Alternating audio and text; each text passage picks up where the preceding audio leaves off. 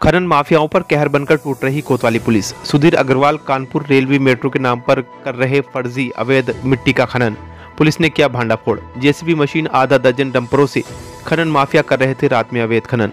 खनन माफिया गाँव के बीच से गुजर रहे मिट्टी से भरे डंपर, जिससे गाँव की सड़कों में भी हो रहा भारी नुकसान। स्थानीय लोगों के विरोध करने पर खनन माफियाओं के गुर्गो ने ग्रामीणों को गाली गलौज देकर धमकाया। नाराज़ ग्रामीणों ने खनन माफियाओं का विरोध कर डंपर के आगे खड़े होकर जमकर काटा हंगामा। बवाल बढ़ता देखकर सूचना पर पहुँची पुलिस ने मौके से अवैध खनन कर रहे मिट्टी से भरे दो डंपरों को पकड़ थाने में किया बंद। इस कार्रवाई से बचने के लिए जैसे भी मशीन, अन्य डंपर चालक हुए मौके से फरार। खनन माफिया का सरगना मुख्य आरोपी सुधीर अग्रवाल की तलाश में जुटी पुलिस। कोतवाली अकबरपुर क्षेत्र के बलिहारा रहीमपुर गाँव के पास का मामला।